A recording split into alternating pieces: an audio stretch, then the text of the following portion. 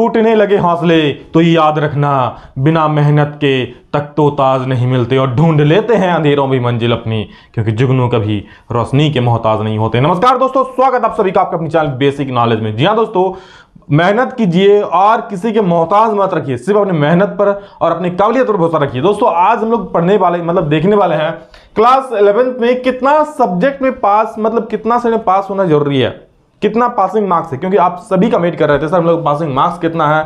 हम लोग कितना सब्जेक्ट में पास होना ज़रूरी है? आप सभी के विद्यार्थी मन में ये ज़रूर होगा सर कैसे कितना नंबर लाएँगे कि हम लोग पास हो जाएँगे? तो चलिए, ये वीडियो पूरा आप लोगों के लिए डेडिकेटेड क्लास इलेवन के, चाहे साइंस के हो कॉमर्स के हो आर्ट्स के हो, सभी के लिए फुल टू इन्फॉर्मेटिव है। सभी को ज़रूर शेयर कर देना, आपके किसी भी दोस्त को इसकी ज़रूरत है तो। और चैनल पर पहली बार आए हैं तो सब्सक्राइब ज़रूर कर लेना। धुआंधार तक तैयारी हो रहा है, तैयारी शुरू कर दो।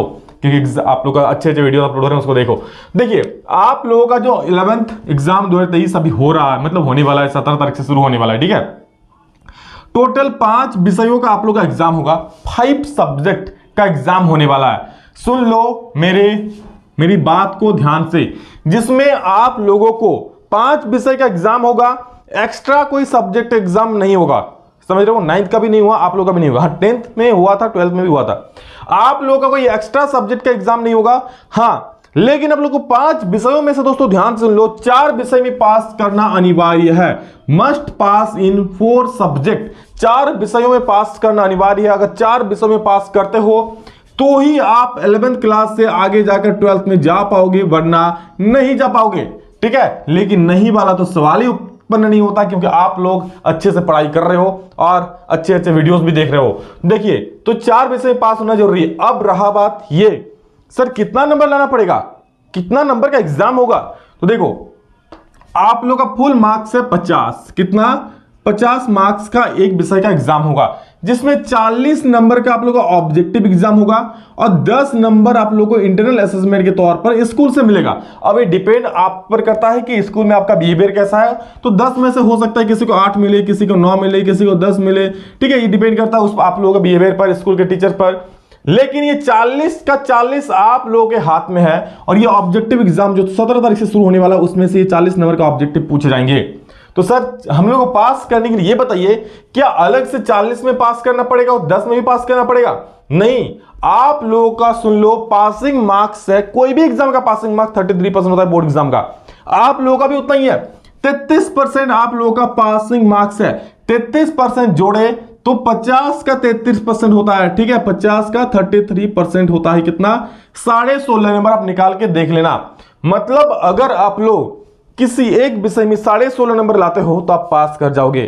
ठीक है? अब सर साढ़े सोलह नंबर। मान लीजिए सर हम चालीस में से, पचास, चालीस में से सर हम अगर मान लीजिए दस ही नंबर ला पाते हैं तो सर क्या हम फेल हो जाएँगे? मैं फिर से बता दूँ, ये साढ़े सोलह नंबर आपको पचास में लाना है। ये दोनों करके, मिला करके।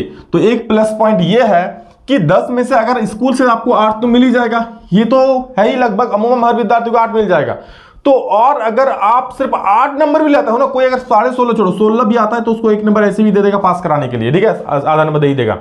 तो अगर आप जो ऑब्जेक्टिव एग्ज़ाम हो चालीस नंबर का तो चालीस में से अगर सिर्फ़ आप आठ नंबर भी ले आते हो, आठ को क्वेश्चन भी सही कर देता हो तो भी आप पास हो जाओगे। क्यों?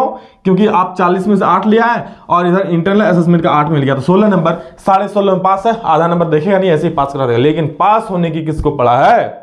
हमें अच्छा नंबर लाना है। हमें ए प्लस ग्रेड लाना है। जी हाँ तो उसके लिए आपको मेहनत करो, अच्छे से पढ़ो अभी से। ठीक है, बस ये चीज़ है और आप लोग का रिज़ल्ट पर मैं वीडियो अलग से बना दूँगा। हाँ सुन लो 80 परसेंट से ऊपर लाओगे तो आपको ए प्लस ग्रेड मिलेगा। मतलब 50 में से 40 प्लस नंबर आप लाते हो 40 या उससे ज़्यादा तो आपको ए प्लस ग्रेड मिल जाएगा। ठीक है, इस पर अलग से वीडियो में बनाऊँगा, बाद में एग्ज़ाम खत्म हो उसके बाद। लेकिन अभी ये पासिंग मार्क्स है इतना समझ लो। ठीक है, क्योंकि बहुत सारे बच्चे को ये दिक्कत रहता है, सर, कितना पासिंग मार्क्स होगा? सर, डर लगता है, कितना सही करे जाके? तो कम से कम भैया, आपको आठ नोट तो सही करना ही होगा पास करने के लिए। समझ रहे हो ना? तब ये होगा। तो समझ गए आप? थर्टी थ्री परसेंट यानी साढ़े सोलह नंबर लाते हो पचास में से आप पास कर जाओगे।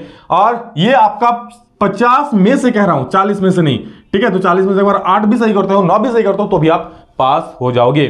हुई टेंशन खत्म टेंशन खत्म हुआ तो लाइक कर दो चैनल को सब्सक्राइब ज़रूर कर लेना। और जिस प्रकार से तैयारी कर रहे हैं, तैयारी में जुड़ जाओ और एग्ज़ाम में जाकर तबाही मचा करके आना, ठीक है? चलिए love you all thank you all of you जल्द मिलेंगे, तब तक जय हिंद, वंदे मातरम।